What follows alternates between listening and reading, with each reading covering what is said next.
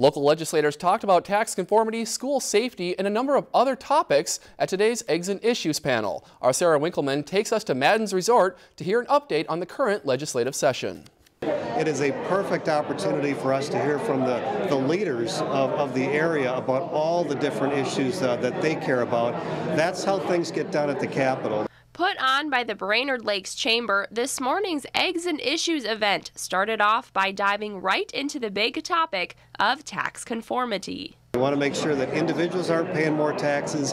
We want to make sure businesses aren't paying more taxes. So that'll be the challenge. Uh, we're working with the governor right now. At this point, he wants a $1.4 billion tax increase over the next four years. We want to be revenue neutral or, or less taxes with representation from both the House and the Senate sharing their thoughts. That we absolutely have to work on this issue. We have to make sure that we are in alignment with the federal government and we get it right. Another hot topic discussed was the issue of school safety and how legislators are working hard to make sure students in Minnesota schools are safe. That has to do with uh, mental health dollars, making sure that we have resources so that we can identify kids that are in trouble and are doing some of the things that are happening around the country.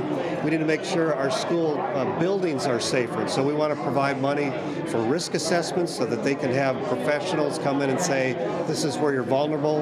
And we want to explore how do we help our local schools with their ability to choose what they need to do. The morning also included ongoing conversations of the workforce shortage and the effect on affordable housing. And I don't necessarily think that's an affordable housing issue. It's just a housing issue.